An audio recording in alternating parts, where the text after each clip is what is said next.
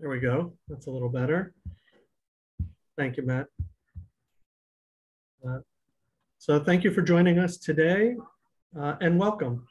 Uh, for those who might not know me, as Kiran introduced me, I'm Todd Shank and I have the pleasure and honor to serve as JESSA's CEO.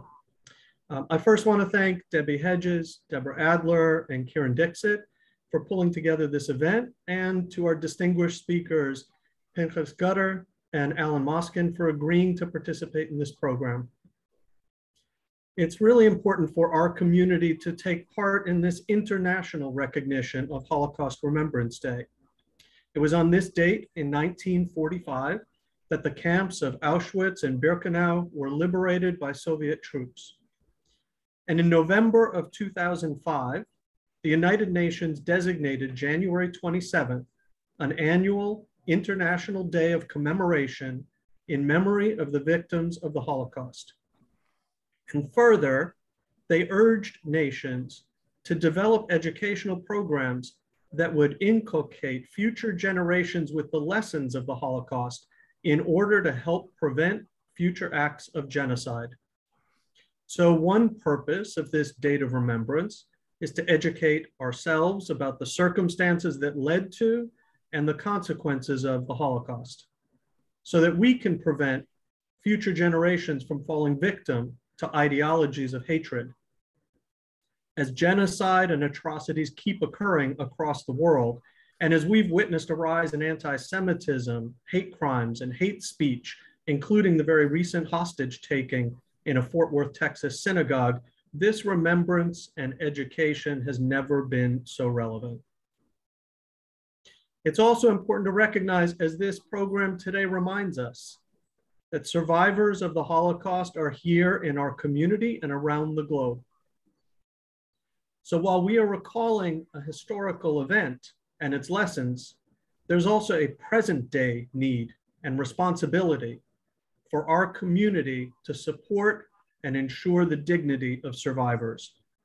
Through JESSA's Holocaust Survivor Program, we're privileged and humbled to carry out this sacred commitment in partnership with our community and the generosity of many important funders, including the Claims Conference, the Jewish Federation of Greater Washington, state and local government, as well as many caring donors across our area. I look forward to an important discussion that Kiran Dixit, Jess's Director of Training, will facilitate with our speakers. First, Debbie Hedges, JESSA's Director of our Aging in Place Service Department, and Deborah Adler, the manager of Jess's Holocaust Survivor Program, will introduce our guests.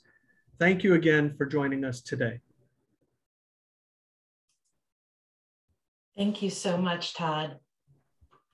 It is my pleasure to introduce to you all Pinchas Gutter.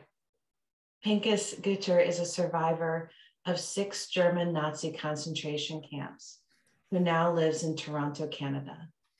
He was born in Łódź in 1932 into a Hasidic family of winemakers. When the war started, Pinchas, along with his parents and twin sister, fled to Warsaw, where they were confined in the Warsaw Ghetto for two and a half years. They were captured in April 1943 and deported to Majdanek death camp in occupied Poland. The Nazis murdered Pinchas's father, mother, and sister upon arrival. Pinchas was later sent to a succession of camps. He was liberated by the Soviet army from the camp and ghetto in Nazi occupied Czechoslovakia, known as Desseret, in May 8, 1945. After the war, 13 year old Pinchas was taken to an orphanage in England. He later moved to Paris to live with a cousin and left for Israel in 1950, where he volunteered for the army. After three years in the army and a stint working for a textile factory, he attended school to learn Hebrew. As a student, he met his wife, Dorothy, and they moved to England there, moved to England and married there. They later moved to Dorothy's native South Africa where they lived until 1985 when they moved and settled in Toronto. Pinchas and Dorothy have two daughters and a son. Pinchas is an active member of his community, serving as a cantor in his synagogue, and still speaks and shares his story today. Welcome, Pinchas, and thank you so much for being with us today. Deborah?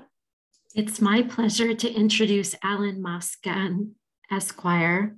Mr. Moskin served in the U.S. Army during World War II from September 1944 to August 1946. On May 4, 1945, his company participated in the liberation of the Gunskirchen concentration camp, a subcamp of Mauthausen in Austria.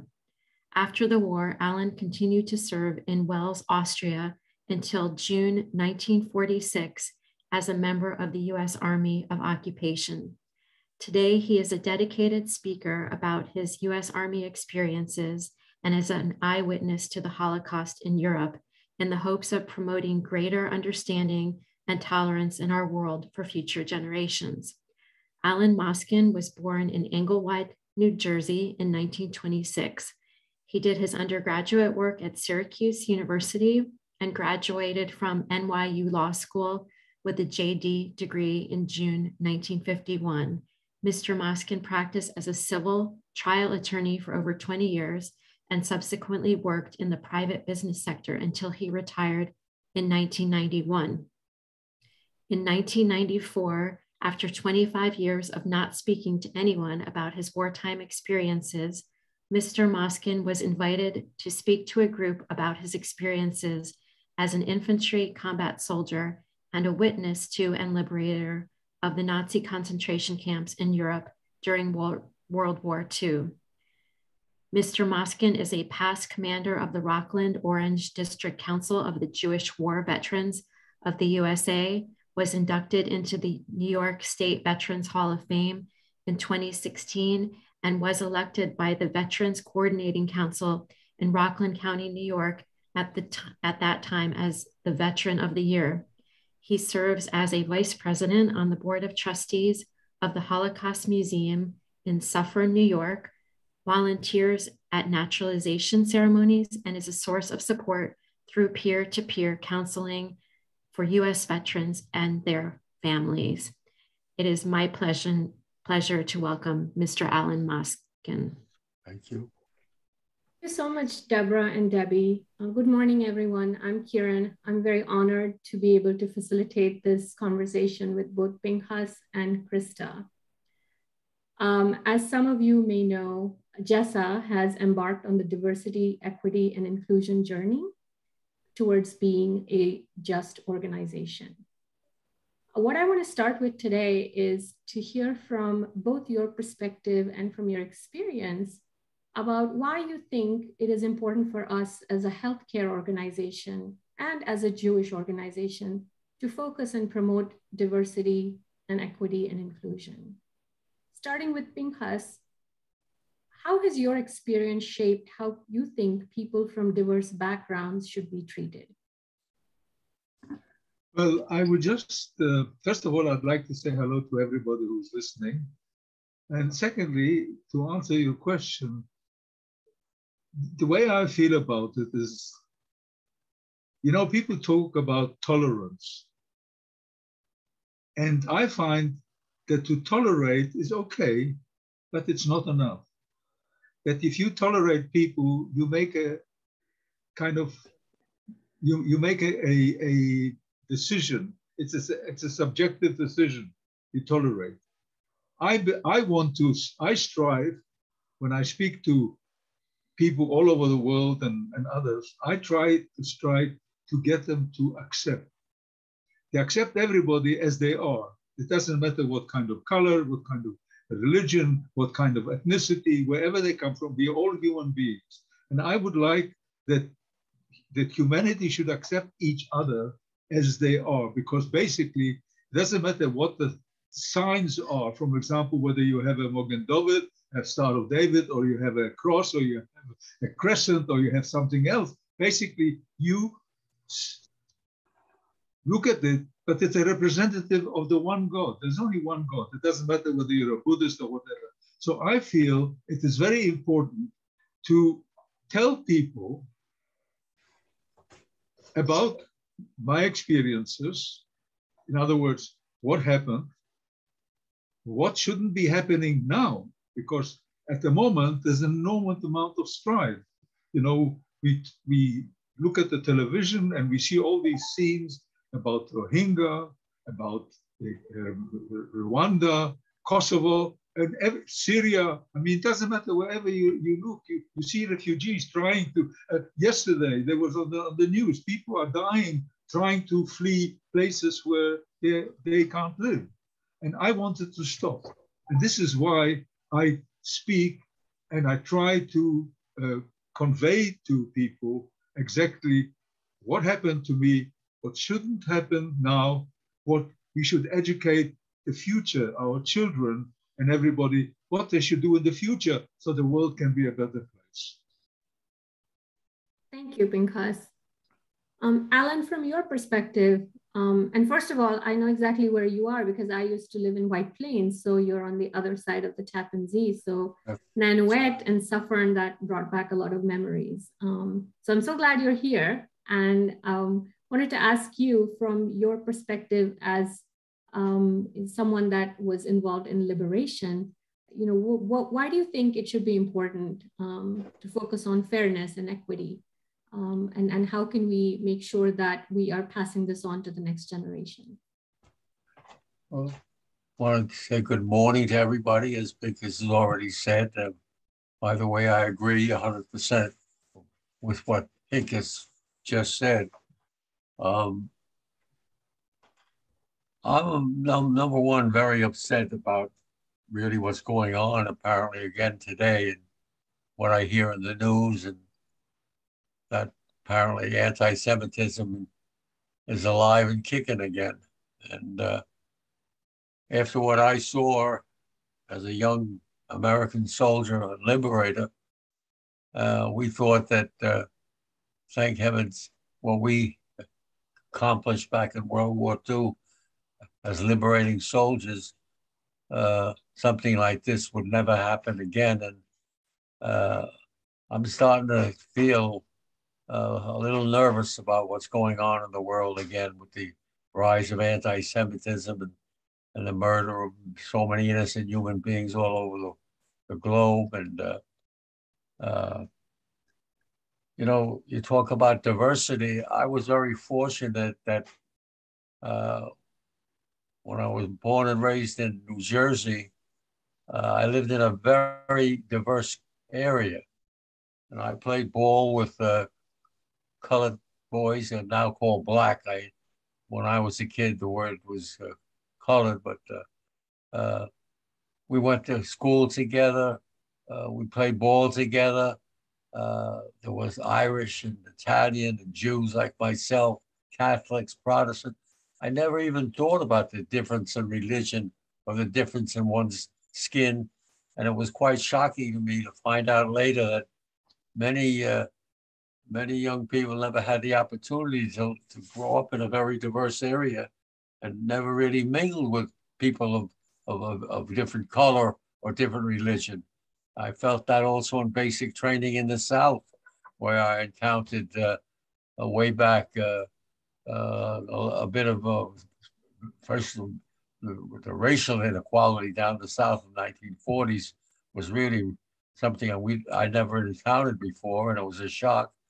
And uh, uh, I think diversity is it's something that's we should, we have to emphasize, but it's difficult for people who never grew up in a diverse community to, to understand that we all feel uh, joy, we all feel sadness.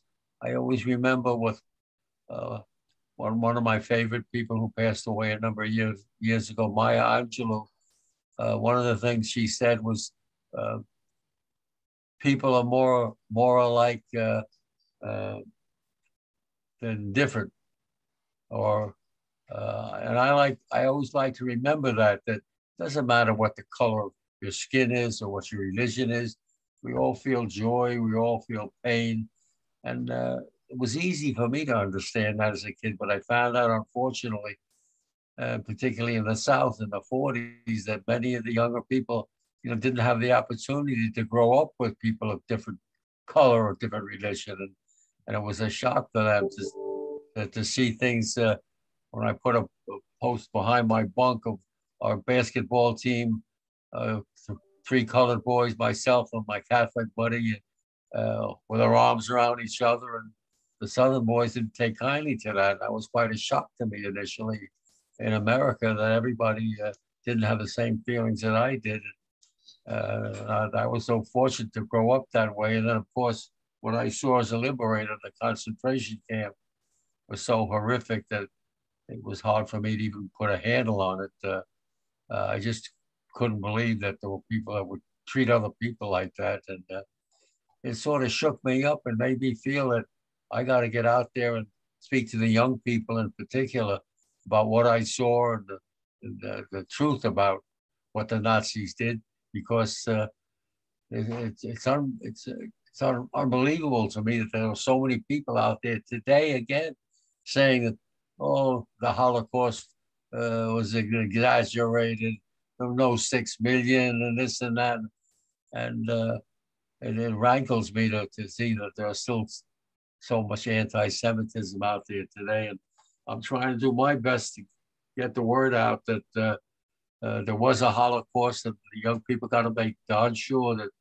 what I saw and what Pinchas went through never happens again. And that's why I hope to continue to speak as long as God gives me the strength.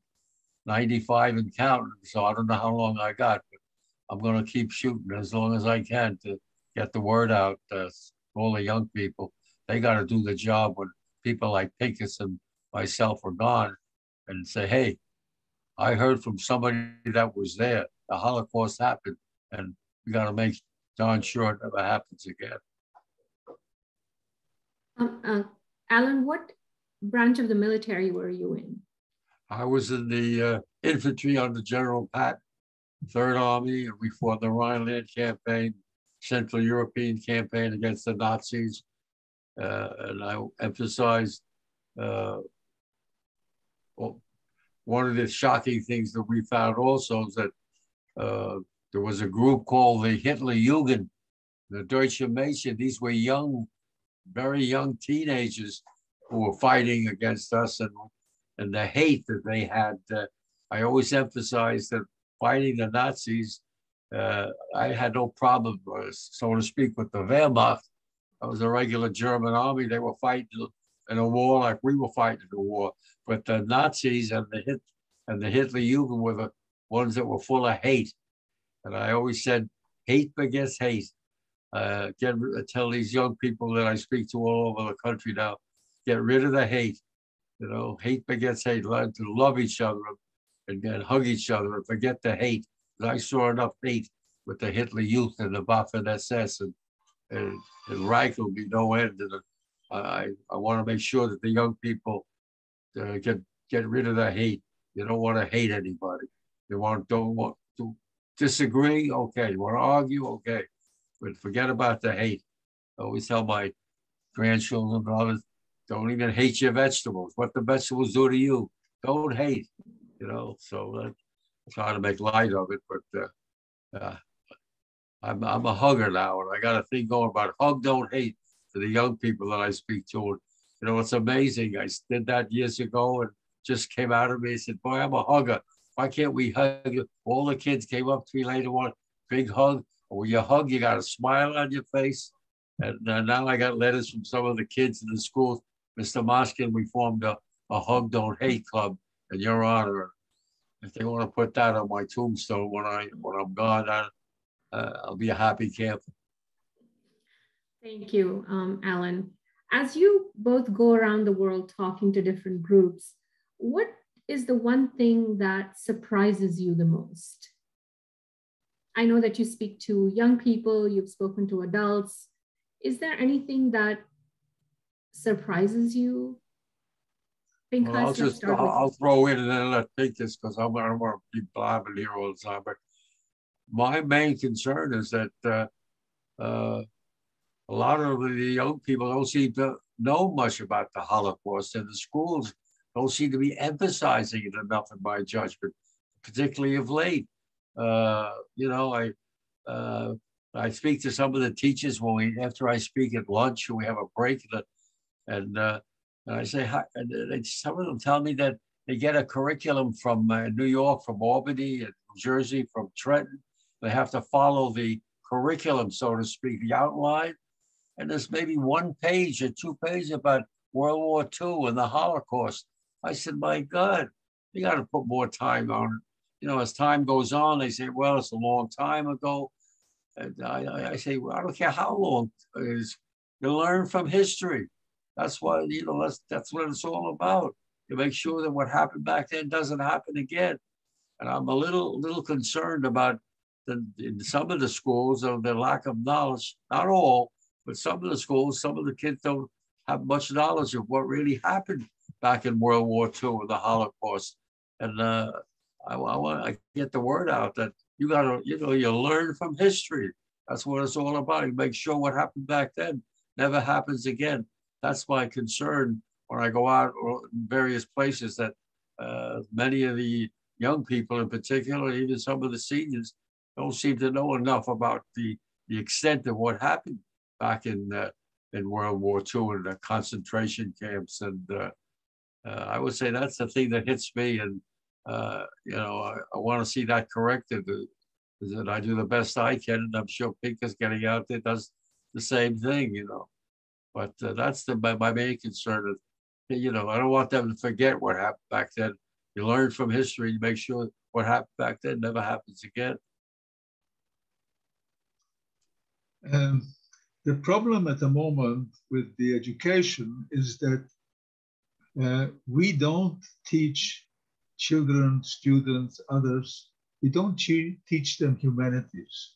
What we do is because of the IT and the emphasis on uh, if you're going to want to earn a living, you'll have to learn IT and engineering and so forth and so on, then you, you have to exercise that. So basically, when I uh, am, when I go to a school or university and I speak to them, I try to emphasize the part of, of, of the history. So I don't only talk about the Holocaust. I speak to them about general what went on before the war, uh, what happened during the war, and as I said before, uh, to, so to be able to enlighten them about what is going on. And I also speak about what is going on at the moment, depending the time that I have. But basically, um, to, to me, what is, in, what is very important is the aspect of how it is accepted. And I always find that it is it's it's it's it's so cathartic for me that when I am uh, when I am in, in, in front of an audience, the empathy that I get from them once they start listening to what I have to speak to them and what I'm trying to teach them or talk to them about is quite significant from the point of view that I have been going on trips. I've been back now to Poland and Germany over 20 times with different uh, people, people like um, Catholic University professors. Uh, I've been from New Jersey, from the College of St. Elizabeth, with students from the different Seton Hall and others. I've been, uh, I spoke at Harvard, I spoke at the United Nations. And the fact is that what, what the response that you get is so cathartic to you as a human being, as, as a survivor of the Holocaust, as a witness of what happened, that to me, it really, I mean, the first time that I went uh, with, with the New Jersey group of uh, a bishop, nuns, Catholic educators from Catholic universities, and the, the, the empathy that they gave me, and especially to somebody like me who has suffered at the hands of mainly, you know, coming from Poland, mainly from Catholic people, and during the war, of course, from German Catholics or, or basically from Christians. And, uh, and, and to me, to be able to be so enveloped by so much love and empathy, uh, you know, I'm just repeating myself, by these human beings is very, very much important to me, and it's important, I think, to the world as such. And what I try to do generally is to try and create a climate of goodwill. For example, I will tell you, before I finish my speech, but at the end of my, whatever I'm talking about, my experiences, some people call it stories, but these are not stories. This is something that you went through and you kind of share it with people. So I give them a gift. And my gift is a torch. The torch is like an Olympic torch. The Olympic torch has only got one flame, a flame of goodwill amongst athletes that they should compete correctly without, without kind of uh, fighting or anything like that and jealousy and try and be create goodwill amongst the games of the Olympic Games going back to Athens. But my torch, I carry a torch with me all the time. And my torch has got more than one flame. It's got lots of flames. And I'll just give you an example of some of them. So my flames is, for example, no racial discrimination, no religious discrimination, no xenophobia, no homophobia, and above all, no hate. Hate is vicious, it's pernicious, it creates vengeance. And I would hand this over to the audience, whoever is listening, and I say, You've got part of me. I'm also giving you a gift of this flame. I would like you to take this flame, carry it, hand it over to whoever you can, to your families, to your friends, and create a light in the world, just like the sun is shining. Create the light instead of the darkness, create lightness and make the world a better place. So to me, when I I when I find I speak to people, I find it's very satisfactory from my point of view that I get a response, and the response that I feel both emotionally and through osmosis that that something is actually happening. And, the, and it's true because I get responses from people. For example, the other day, I uh, somebody who's working uh, very very up in the ministry of uh, Nova Scotia in one of the provinces of Canada. Uh, she was with me in 2009 on a March of Remembrance and Hope in Poland and Germany. And she arranged for the civil servants in Nova Scotia, 150 of them, to listen to me and talk to them a few days ago. So this is continuously, it does permeate the, the people and it creates Holocaust. That's what Holocaust survivors try and do. They all try to be witnesses to try and bring about a situation, a climate where the world is getting better. Maybe drop by drop, slowly, but it is definitely getting better. I'm an optimist. I believe things are improving. The fact is, in Canada, according to the news that we get, and I believe it's true, we took in 30,000 Syrian refugees. Now, in 1930s, when the Jews were struggling in Germany, and then later on, in, things tried, Jews tried to get out of Eastern Europe and everywhere. All the doors were closed. Only one country in the world, there was an Evian conference, and only the Dominican Republic allowed Jews to come to as, as, as, as, as immigrants. Everybody else talked a lot, but we, all the doors were closed. There's even, there's even a, a song in, in Yiddish that, where should I go? All the doors are locked. You know, what, what resonates with me and perhaps with a lot of people in the audience is, is your optimism, um, given what you've experienced. Uh, and it's very humbling uh, to hear from you of how you continue to have hope and pass on this message of light and love, and, and from both of you, Alan um, and Pinchas, uh, to encourage people to, you know, not hate and to get to know each other and spread this um, lightness of being together. So um, thank you. That that is very powerful and very moving. Um, what what do you want your descendants, what do you want young people particularly to understand about the Holocaust, about your experience as you go to schools, as you speak to young people? Um, what is it that you share with them and what do you want them to um, hold on to? Basically, as far as I'm concerned, uh, I would like humanity as a whole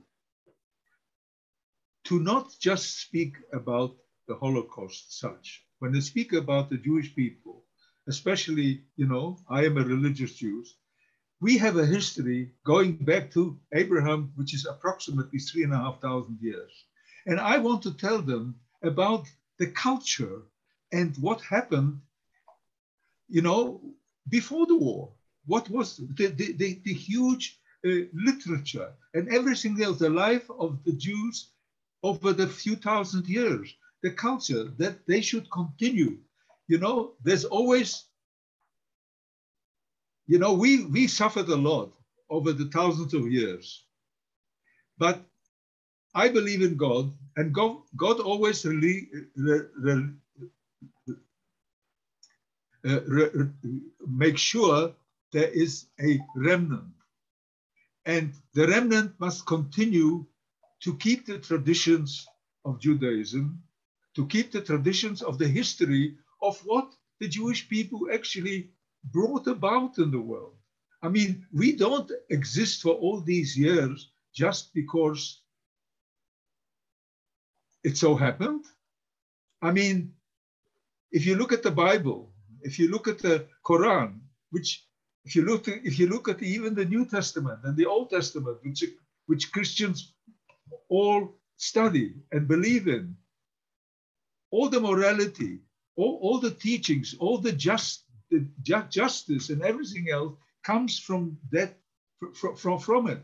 And it started off, I believe, it started off with, with Abraham. It started off maybe even before with Hammurabi and other cultures. So to, to me, it's very important that the future children, especially Jewish children and others, shouldn't only talk about the Holocaust. Yes, the Holocaust is terribly important, but I think even more important than anything else, they should speak about what Judaism is all about and what is the Jewish culture and what is their empathy, what is their, uh, uh, you know, spirituality and, and what do they contribute towards the world and what have they contributed toward the world and what the world has contributed generally. So it, it's terribly important for me to pick to, to not just paint a picture of horror, but to also paint a picture of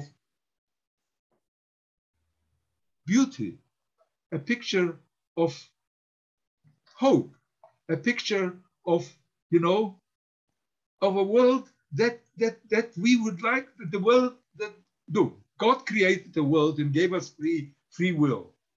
And somebody, you know, I did a new dimensions and testimony, which I kind of answer questions from a from a picture. You know, Shoah Foundation created this new hologram, and and somebody asked me, "Do you still believe in God after God allowed all these things happen?"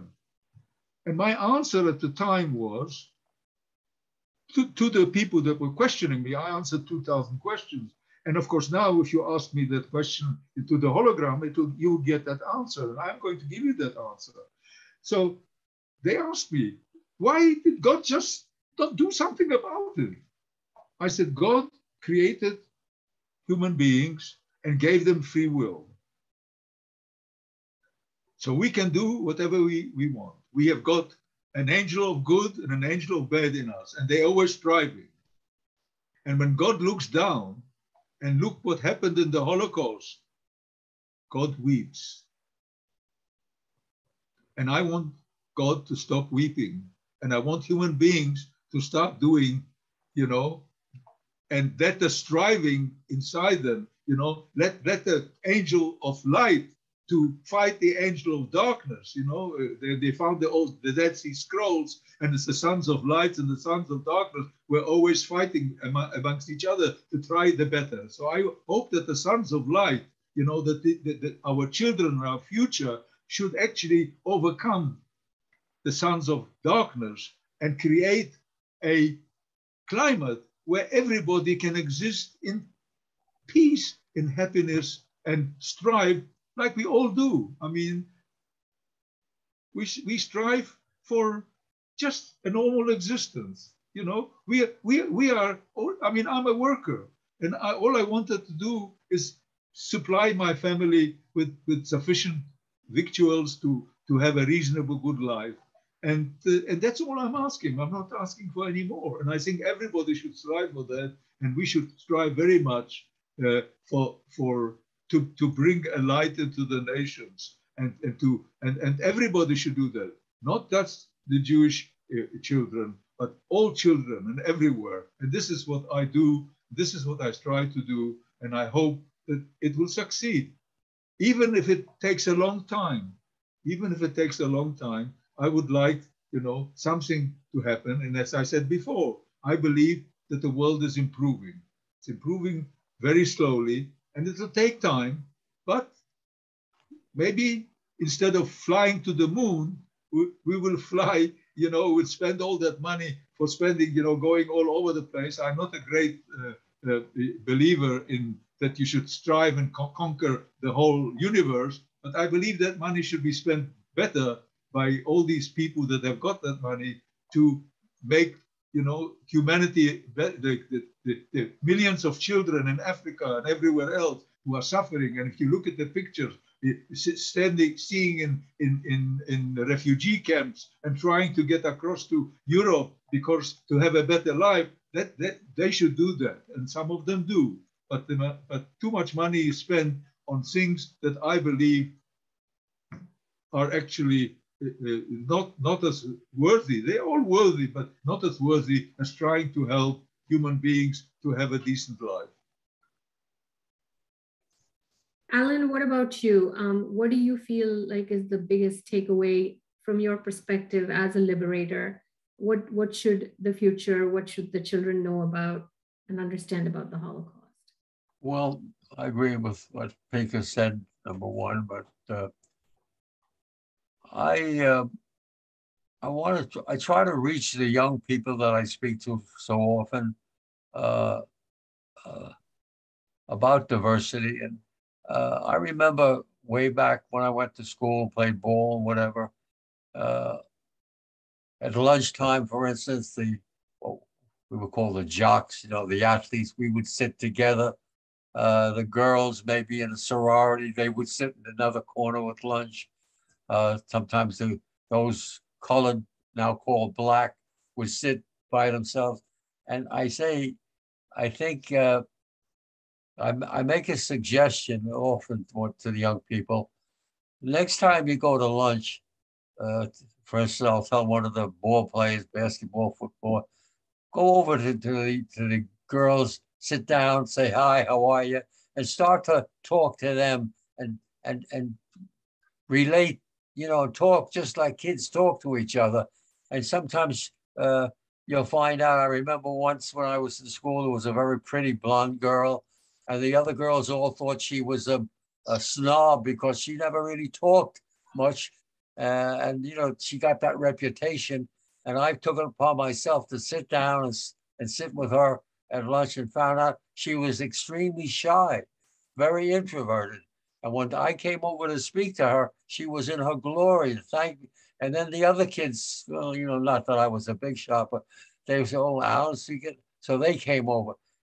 Get to meet with each other, speak to each other, learn that we're, you know, you don't make opinions from the outside, and that's what I think diversity is so important. Uh, uh, you know, I said again, I I grew up in a very diverse community, and I found out later that many of the younger people, uh, uh, I don't want to single out any areas, but some areas where I live in Westchester County, pretty wealthy people, younger uh, girls, you know, and go, boys grew up in a certain way, and then there's a poorer section, and they never understood each other until they actually made an effort to go and, and speak and talk to each other, go to each other's homes, uh, and you'll see that we're more alike than different. You know, Maya Angelou was uh, one of my favorite people over the years and unfortunately passed away a number of years ago. And she said, among so many things that I remember quoting, but people are more alike than unlike. I like to say people are more alike than different. I learned that at an early age, and I try to convey that.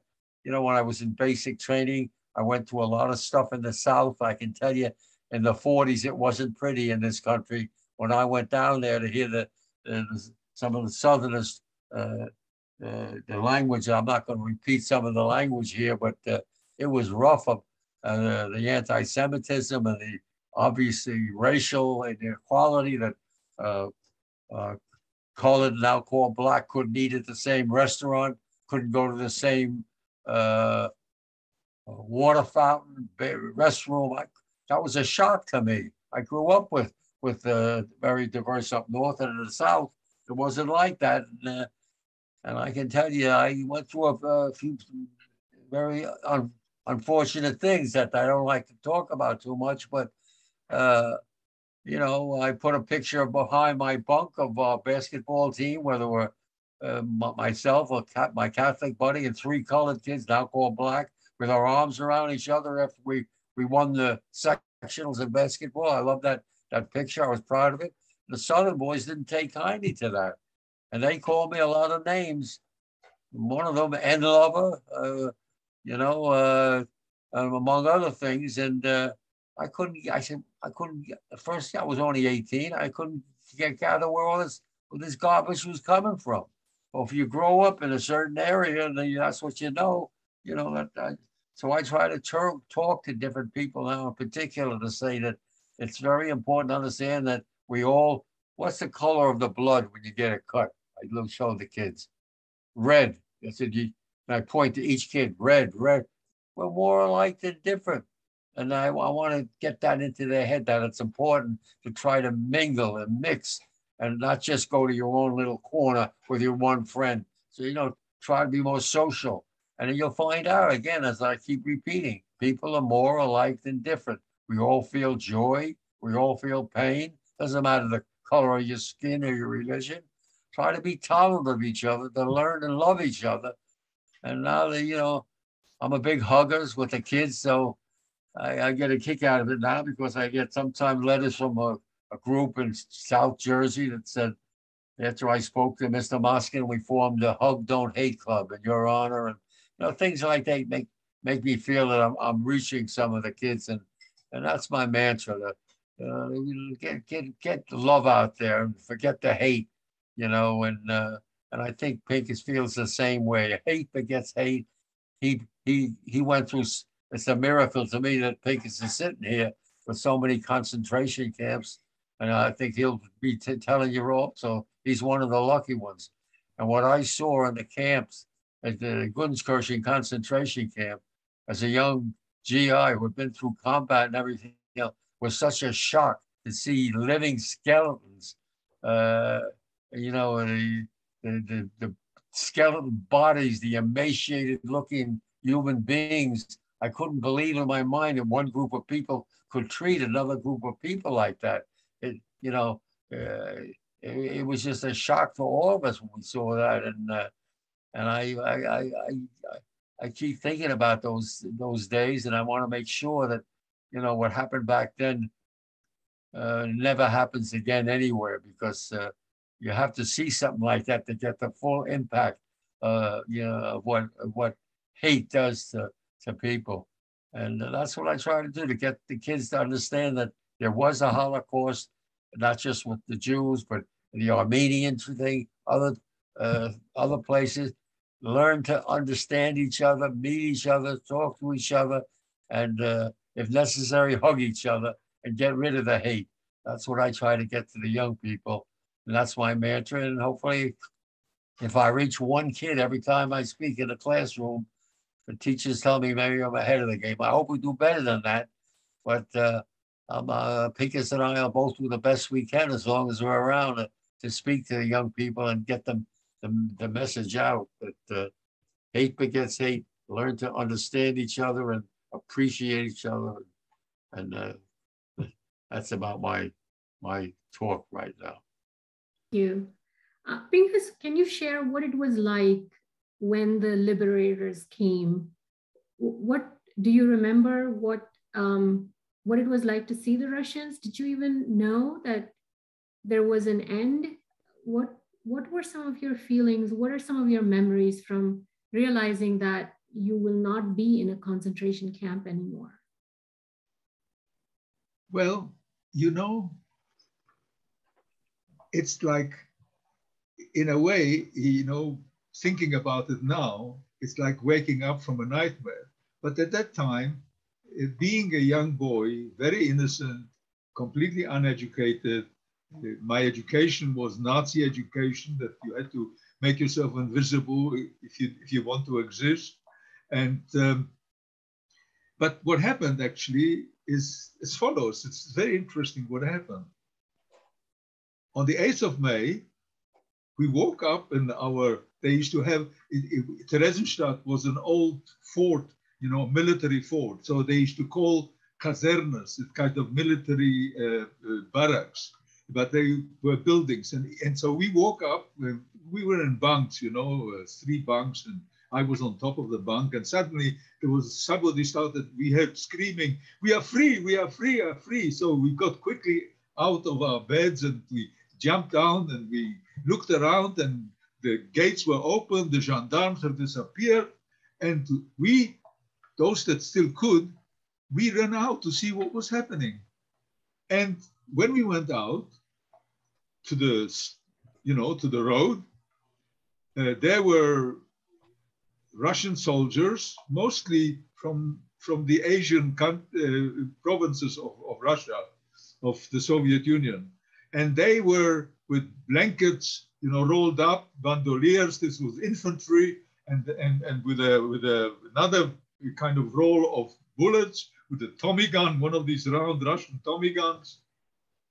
And they had big boots tobacco on one, newspapers in the other. They would roll up these cigar big cigarettes, which they do, and they had a piece of bread in one and meat in the other one. They were kind of self-contained little units. Each one of them was a self-contained unit, and they were marching. But at the same time, you know that before the war, when Hitler took over Czechoslovakia, he did ethnic cleansing. He chased out Czechs from Moravia, from uh, Bohemia, and he settled many millions of Germans there, or ethnic Germans. And now the Czechs that were liberated by the Russians and the Russians started chasing these people out. And what we saw as the Russian soldiers were going, and there were some tanks and others, in between, there were a whole lot, thousands of Germans being chased out of Czechoslovakia with little prams with children, elderly men, very few young men, but young women and children and elderly men. And they were being pushed and shoved and robbed. And I didn't know what was going on. And the soldiers would grab young women because I was innocent. I knew nothing about anything. Being from a religious new, I didn't know what you know what sex was all about. But obviously, what they were doing, they were grabbing young women.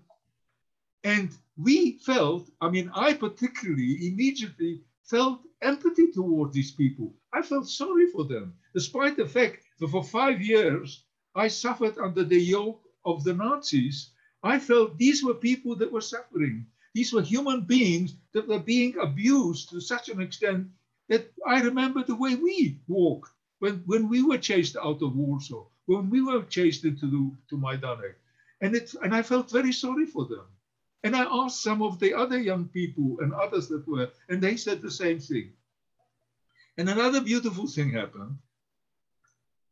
I saw a wagon with horses in a field on the other side of the road. And because my maternal grandfather was a farmer, and uh, according to tradition, you know, in Poland, they always say there were no Jewish farmers. But there were lots of Jewish farmers, and there were a lot of Jewish workers we were a very a kind of very poor community, basically. There were a few obviously rich people, but the majority were hard workers. So I was used to animals. I was used to horses, and I loved horses and cows and chickens and geese and all that because I used to come very often spend time on my grandfather's farm. So I loved horses, and I thought I'll go and just pet them and you know nuzzle them, you know, horses have got a very kind of they I, even the smell of horses you know appeals to you. So i went and i played with these horses and i stayed there and i waited and i thought well the, the, the owner will come but he didn't. So after about a time i don't remember whether it was an hour or even less or more I woke, I, I went up onto the wagon, I took the whip and I showed the whip to the horses because you don't hit the horse, you just show them the whip. And then I took the reins and I started pulling left and right and they started walking. And I went into Theresienstadt. And for the next couple of days, I started going to the farmers collecting food. Uh, you know, there was there were some soup kitchens that the Russian army bought. They were very good actually. Uh, but uh, you know, there was I went to fruit and maybe some other things, and I collected it. And then after two days, one of the administrators, Russian and Czechs, they said to me when they saw me with the horses, "Are these horses yours?" I said, "Yes, yes, they're my horses." So they said, Would you like to work for us as a contractor? I said, Sure, I'll work for you. I mean, there I was, not even 13 years old, and I became a contractor. But this is the day of liberation. This is the time where you are liberated. But you don't think of that, of that thing. You exist. And, and, and, and I started working. And for the three, four months before we were taken by the Royal Air Force to, to England to, uh, for rehabilitation by UNRRA, United, uh, United uh, United Nations Rehab, Relief and Rehabilitation Agency, they, they, you know, I worked for the for, for, for the Czech government, and they gave me a salary of five thousand. The horses became like my family. I, I, I, actually built a stall for them because there were no stalls. So there was a ruin there. I made a store. I bought hay. I cut hay. I went to Russian surgeons in the kitchen to get, uh, you know, all kinds of things for them some of the things like old bread, which I gave them, they didn't agree with the horses, but I tried everything. And I actually slept more time in the stall than I slept in my barrack because they became like my family. So this is the beginning of my life after the war. And then after that, we were taken by the Royal Air Force in, in Wellington bombers, and we we actually flew to uh, Lake District in, in Windermere or next to Windermere, a place called Troutbeck Bridge, which was an old uh, kind of uh, training ground for officers, for, for uh, you know, British officers. And uh, it was the first time after more than five years that I slept in a little room all to myself with a proper bed and proper bedding. And, uh, and that's how my life started after the war. What was your physical condition like? It sounds like you were fairly healthy. Would you say you were well nourished when when the liberators came? Um, and, and I, I want, yeah, I want to tell you, as far as I am concerned, and as far as in Theresienstadt, the Russian army, when they arrived there, they brought a field hospital. There was a, a, a, typhoid epidemic in Theresienstadt. And they brought a field hospital with nurses and doctors. They, they created uh, soup kitchens and they brought food and they treated us very, very, very well. They tried their hard. They also tried to make us communists because I remember the, the commanding uh, general once made a, a kind of a, a, a, big speech. He, he, he, the, there was a kind of main place in Theresienstadt in the middle, a huge ground. So he told everybody to come and he was going to make a speech. It was some kind of holiday. And he made a speech and he said, You must all go back to Poland and Russia because communism is this and communism is this. I still remember he said, Za Stalina, za Rodzina, for Stalin and for the motherland you must all become good communists. Of course, we didn't like the idea. And when they asked us, where do you want to go? I've still got the document from the Czech uh, government, the one before we left. And desired destination, all of us asked, wrote there, Palestina. There was no Israel, but we knew Palestine. We knew that Palestine was a place of the Jews. So we all wrote Palestina. And that's that, that is what was striving at the time we, we, we wanted to start a new life and we wanted to be in Palestine. We didn't want to go back to Poland. We didn't, we knew Poland was just a graveyard, a place where that you won't find anybody. I mean, I knew that my parents, I had a family, an extended family of close to 150 or 200 people uh, across Poland. I had great uncles, I had uh, great cousins, I had cousins, I had, uh, uh you know, my father had had five siblings, and they all had children. And I remember how what wonderful holidays we had, and they all disappeared. Most of them were in the Łódź ghetto, and they were all murdered in Chełmno. My grand, my my grandfather, Ichimaya Gutter, who was 78 years old when the war started, he finished up in the ghetto. And when I went back to Łódź and tried to find out what happened to him, and because they had all records in, in Łódź, so I went to the Jewish Community Council and I found that one, my great, my grandfather, Itzek Maya Gutter, was on the first transport that was sent out from the Warsaw Ghetto, from the Łódź Ghetto to Chełmno to be murdered by the Nazis. And by that time, he must have been about 80 years old. Can you imagine the hurt, the feeling, the emotions that went through to me when I saw on that piece of paper in the Jewish Community Council? They have actually got records because in the war in the Łódź ghetto, everything was done, you know, written out. They they kind of when they were deporting people, it wasn't like in Warsaw where they just surrounded blocks and they took them to the to the, Umschlagplatz and sent them to Treblinka to die without names or anything. But there it was done kind of well. So they put down the names. So I found my grandfather and most of my family, you know, were murdered in Chełmno. And those that were left over and were still working were sent to Auschwitz. Only five cousins and myself survived the war. Five cousins. And three of them were hidden by Christian Catholics in, in Warsaw on the Aryan side. A family, a cousin of mine, my father's, uh, my, my father's eldest sister, daughter, her husband, and the child were hidden by wonderful people who risked their life to save them. And so three of them were saved by Polish Christians. And two of them survived Auschwitz. Leibel and Schifra survived Auschwitz.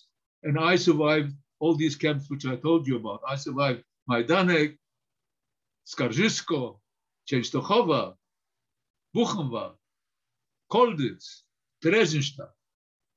Oh boy. Um, thank you, Pinchas.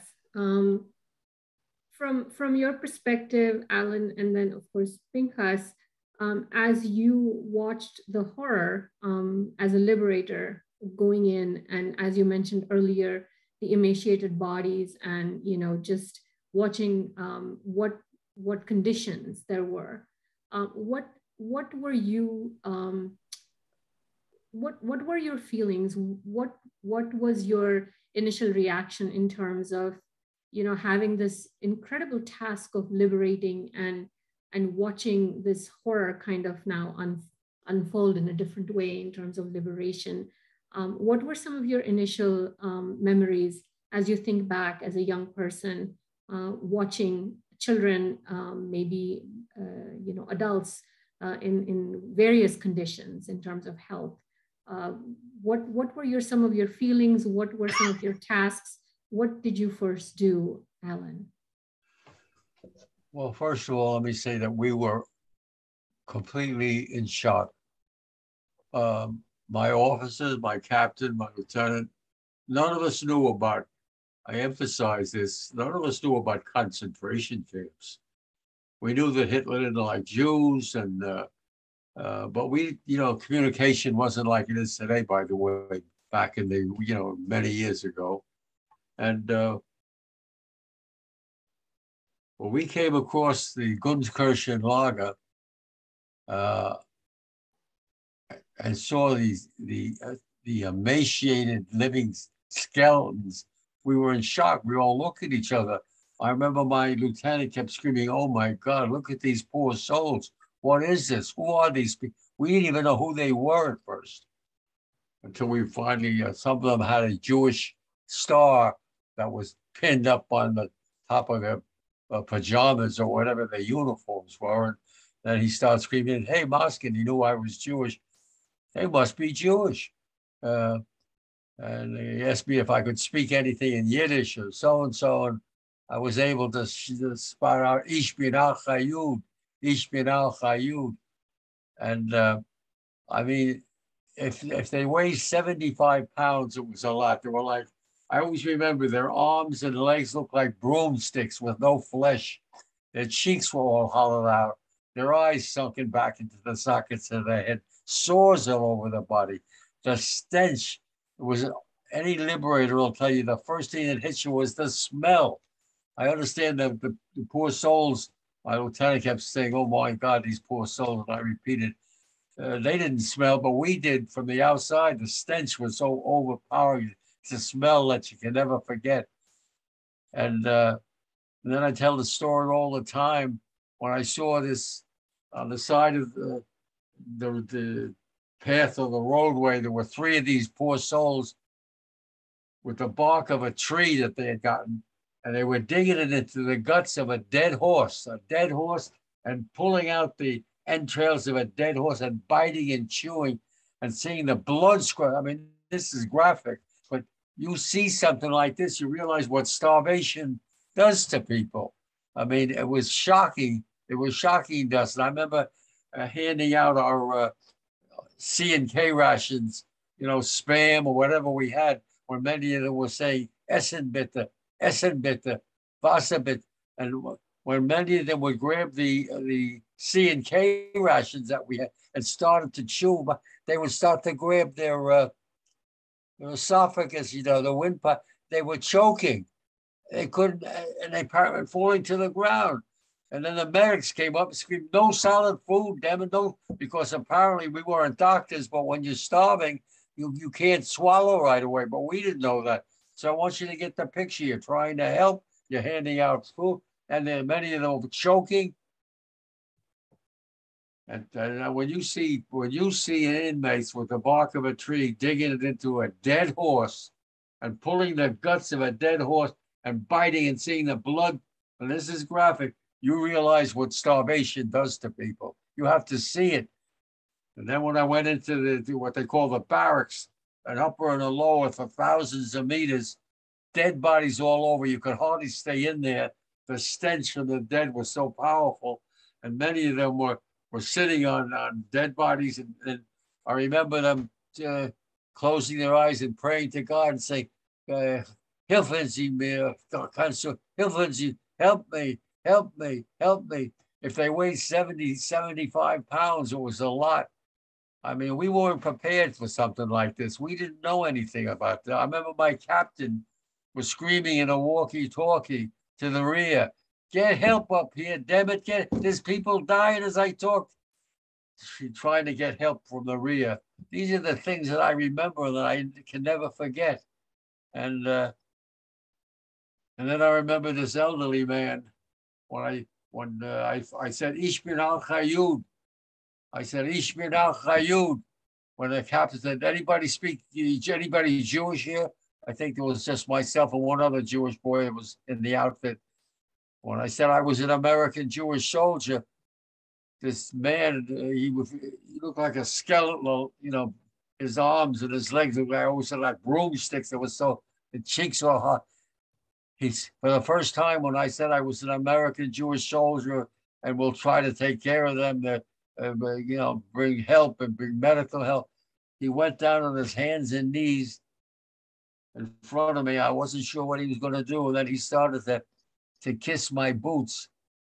My boots were caked with blood and feces and, and, and mud and who knows what. I didn't like it because I never had anybody grovel at my feet like that. And I picked him up under the armpit, armpits. And as he came up toward me, he put his arms around me like the, and then I remember looking at the back, the neck, nape of his neck all the way back. There were open, pussy, festering sores now, I know this is graphic, and the smell, when you see something like that, he was crying and saying, Danke, Americana, Juda, Danke. You can't forget something like that. Uh, it's, it's, you know, I had nightmares about that for a long time. Fortunately, most of that is dissipated, but I, when I talk about it, I still feel it. Uh, I, we just couldn't get a handle on it. I mean, uh, that people were, had been treated like this, and uh, I always say anybody that survived what we saw, to me, it's a, I've come across now uh, over the years a few people that were in Gunskirchen when I speak, and and you know, obviously it's a very emotional thing. And uh, Danke, Danke, thank you, thank you. But any anybody like Pinchas that survived the the hell and the horror of the concentration camps is a miracle.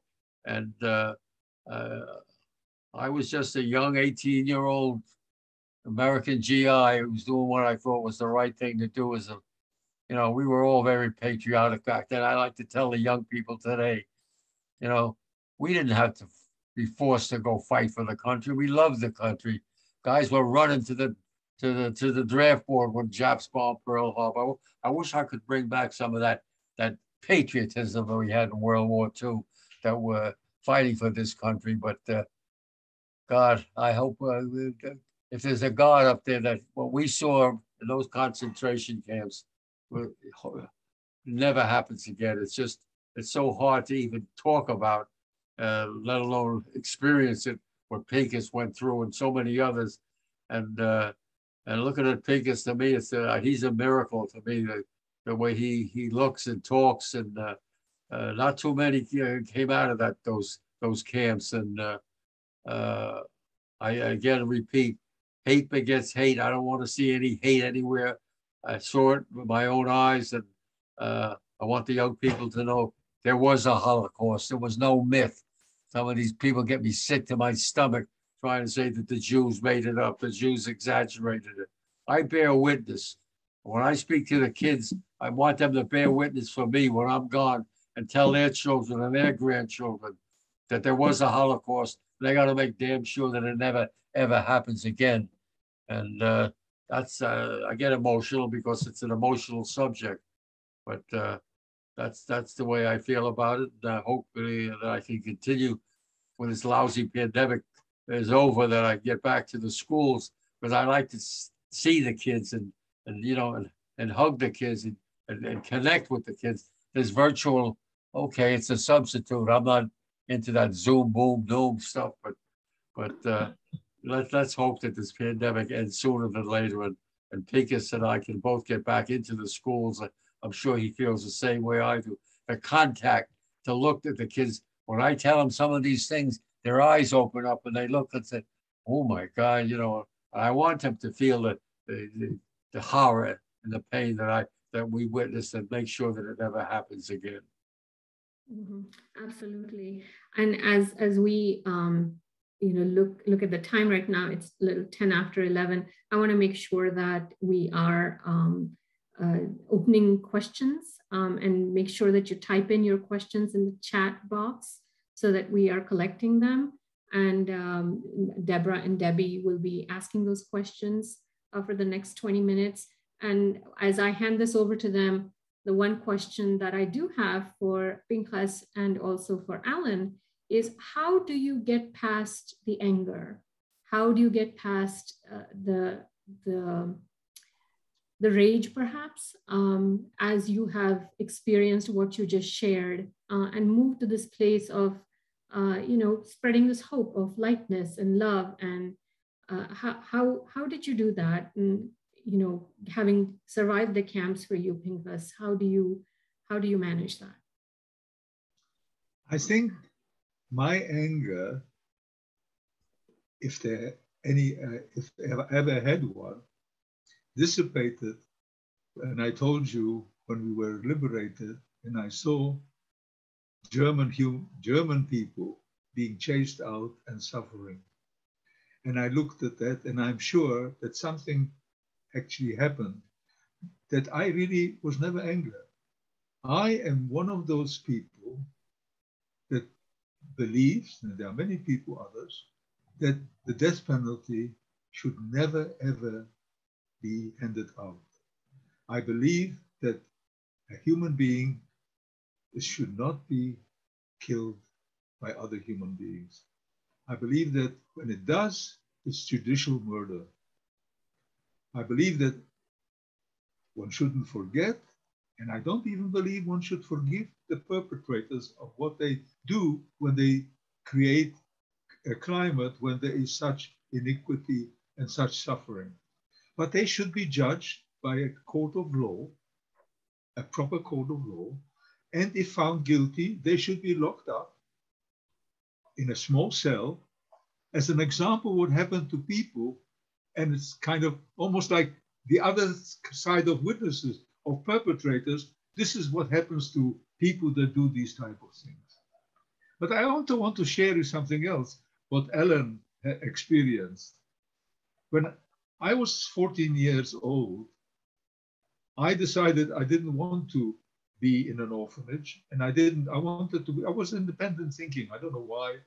And I wanted to start working. So I started working and I boarded with a family.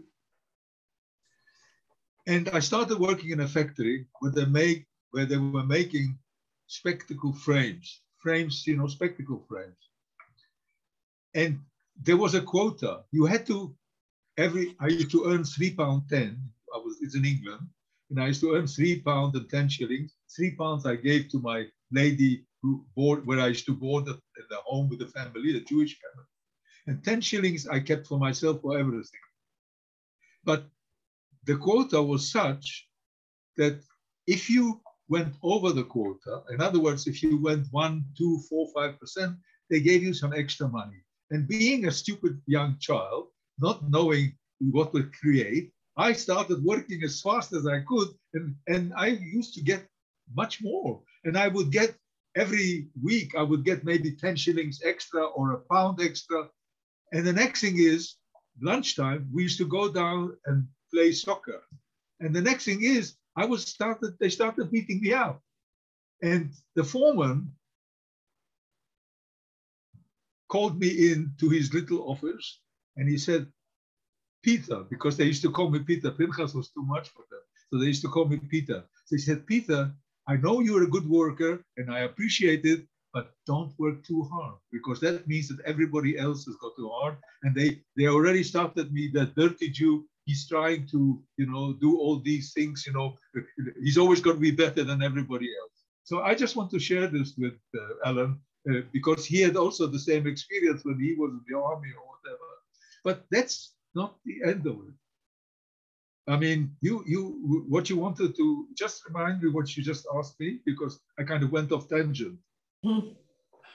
Um, just, what did you actually how, ask to say? my, my question was more focused on how can you get past the rage, the anger, Yeah, yeah. what Well, happened to you and your family and be the, so the hopeful? thing, the thing is this that when when you when when you are when you are a, a young person it's i think it's easier the first 10 years of my life in england and in other places i never ever spoke about the holocaust or knew anything or, or thought about it i only had in paris when i was working in a textile factory at the age of 15 and 16, or 16 actually, um, uh, because I was in England for about two and a half years, and then I went to, to France when I found my cousins and I worked in a little textile factory. I had a dream that I was being gassed. So I started screaming. They heard, and both my cousins, Anja, they slept in a very large bed, and they took this little boy, who wasn't such a little boy, and put them inside, calmed him down, and the next day I forgot about it. For the first 10 years, I had no dreams at all about or anything like that, except that one happening. And vengeance, and it, my, my father and my grandfather were very good people. They always, they were very charitable.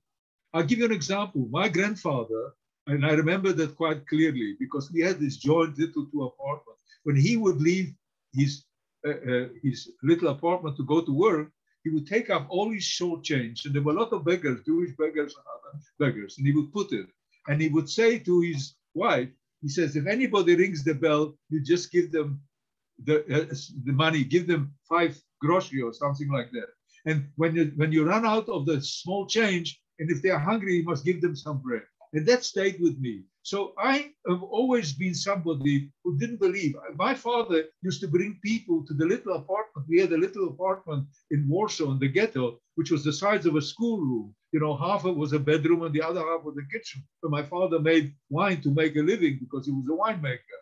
You know, and he put two stills there and things like that. But he always used to bring people from the street to sleep at night in the kitchen. So to me, you know, anger and, and, and uh, rage was completely foreign. To me, it, it, it, it's, it's goodwill. It's something that I think is it, it's ingrained in me. And I, I've never felt it. And I'm trying to kind of impart that to other people. When I when I come up to schools or uh, wherever I speak to people generally, I try to impart that emotions and feeling that they should actually do the same, that they should not feel anger, that should not vengeance is something which shouldn't exist.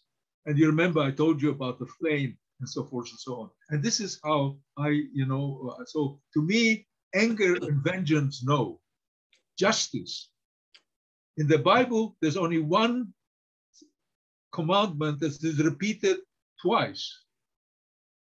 Justice, justice, you should. That's the only one. And justice means lots of things. It means charity in, in Hebrew, it means charity, it means other things. So basically, it's, it's all the good things, and it's repeated twice. Only other, no other commandment is repeated twice immediately, but it says, tzedek, tzedek, tirdof, justice, justice, you shall pursue. In, that's the only one. And I believe very much in that. It's um, just simply uh, so inspiring to hear both of you, um, given what you've experienced, how hopeful you remain, how you continue to promote the idea of love and peace uh, and togetherness and justice. Uh, so it's, it's truly humbling and extremely inspiring.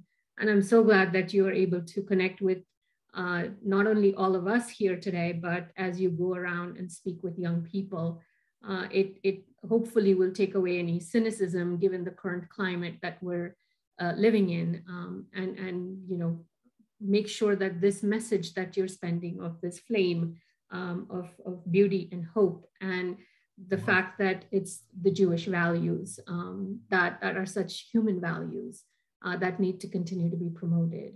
Um, there was a question from the audience or a request from the audience about what you, um, Alan, as a liberator, would directly say to Pinchas and what Pinchas you would say to Alan as a liberator directly. Well, I could only say to Pinchas, um, it's a miracle. I'm looking at somebody that went through so many concentration camps like Pinchas did. and looking at him, you would never know it. I mean, uh, uh, he's a he's a miracle walking as far and sitting as far as I'm concerned. Let me just say, I see a, a message here, and I want to answer it. One of the uh, what branch of the military did this gentleman serve in? And I can just respond to that by saying, uh, I served with the 66th Infantry Regiment, 71st Infantry Division, part of the famous Third Army, which was led by the one and only General George S. Patton. You'll have to have me come back. I could talk an hour about about General Patton. I want to just tell you one thing. Uh, militarily, we we love General Patton. He was a tough old bird, but uh, you know, every, more four-letter words than I ever heard. And, uh, but uh, the one thing that really shook us up, I'm smiling because I still get a kick out of thinking about it, we thought first he was jesting, but he kept looking at us all and, and, and saying, hey, you guys, you know who you're looking at? You're looking at Napoleon. So we was, what, do, what do you mean we look at Napoleon? Then he would say next day he was some general in the Roman Empire.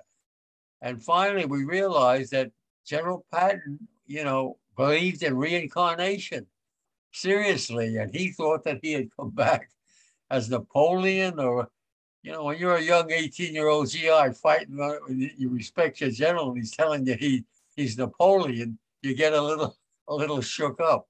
But I laugh at it now because he really devoutly uh, read later that he, he strongly believed in reincarnation and that he had come back as those old time uh, generals. But um, uh, just to add a little bit to what Pinchas said, I mean, uh, uh, I don't have anger. Uh, I, I, I served as a member of the Army of Occupation after the war and, and, and met a lot of people in Germany and Austria, a lot of good people. There are good people everywhere. Uh, what happened, happened. I don't want to dwell on it. But I'm what I'm anxious to make it make sure that what happened then never happens again. That's my man. I'm not going to dwell on what happened back then and why, who, what.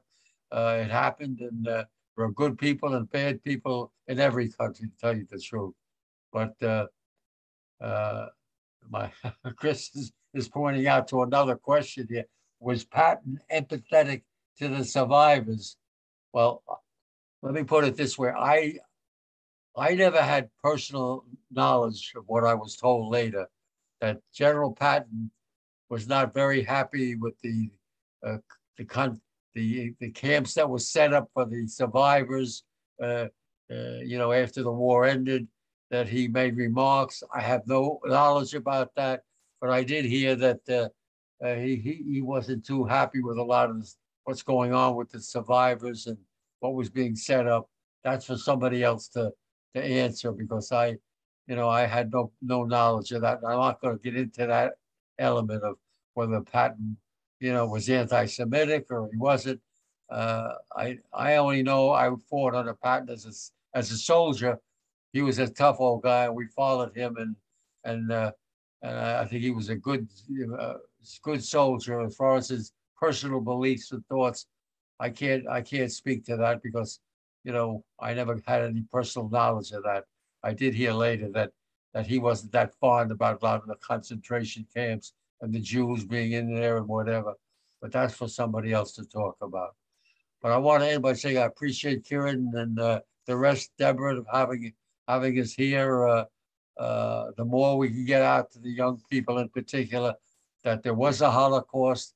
Uh, Pinchas and I bear witness and I think we both feel strongly that hate begets hate, not to hate, and to love each other and hug each other. And that, uh, you know, we all feel joy, we all feel sadness, and no matter what the color of your skin or your religion is, and uh, try to get to, to, to, meet other people, particularly in the schools. I tell the young people, sit with people and talk to them, get to know each other, and you'll find out what I'm talking about. That people are more alike than different. Uh, and hopefully one day there'll, there'll come a day when all God's children, black, white, pink, yellow, Jew, Catholic, Protestant, uh, Muslim, all God's children can live in a world filled filled with joy and happiness and, and love and not not with hate. I think Pinchas both feel strongly about that. Thank you, Alan. Pinchas, any any last words?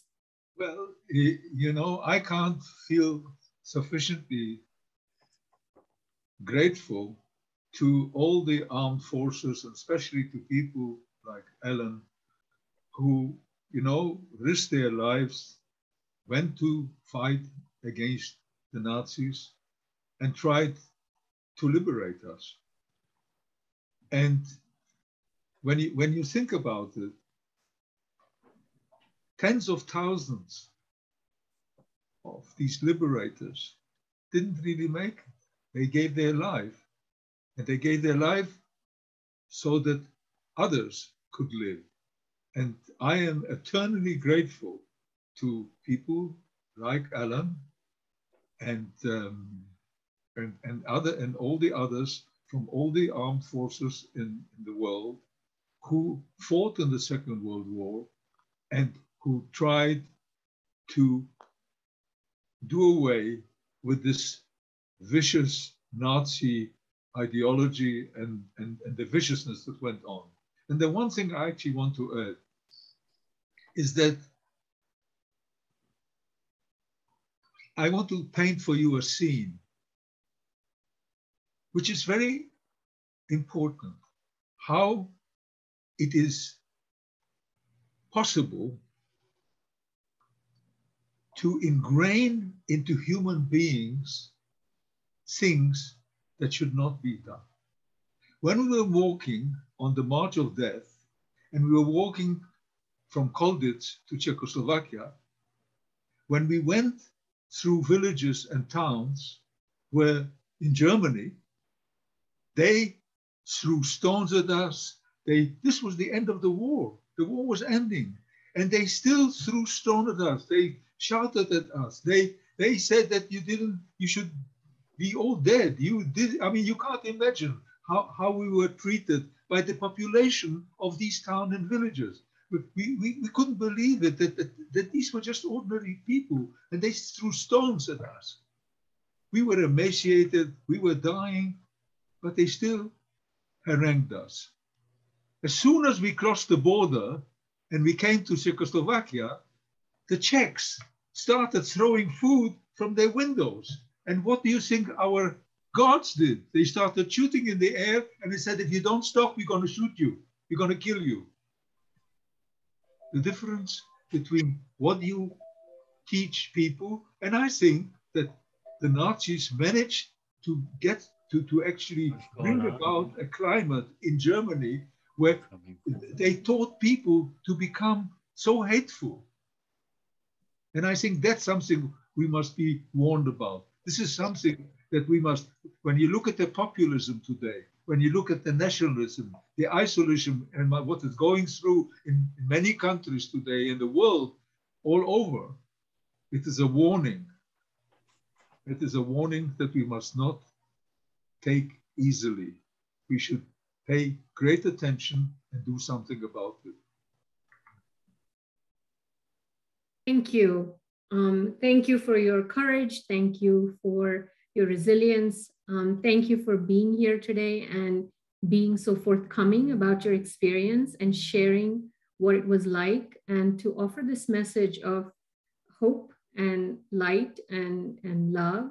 Um, we can't thank you enough there's messages from everybody that is um, participating today to thank both of you for your time and for your continued commitment uh, to talking about what happened and learning from it and passing the message to future generations so that it never happens again. Uh, so I want to thank everybody today for being here, for your support, um, of course, of JSSA, of um, you know, uh, coming here and supporting Pinchas and Alan um, as we hear their stories uh, and to make sure that we do what we can uh, to make sure something like this never happens again.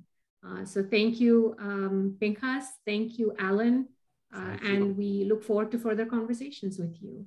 And thank you all for coming to this event um, at JSSA. We really appreciate all of you being here today. Thank you very much and uh, goodbye, goodbye, good health. Look after yourself and make sure you don't get COVID. That's the most important. I keep on saying to everybody, get vaccinated. I don't understand. I mean, I've got a, a mad grandson who doesn't want to be vaccinated. He lives in the United States. He works there. He's married. He's now got a, you know, i have got a great grandson, and they don't want to be vaccinated. They caught COVID, but they're okay now. But but for some reason, don't ask me why.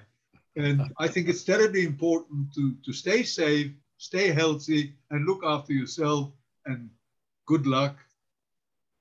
And thank you so much. Thank and shalom. Shalom. Yes.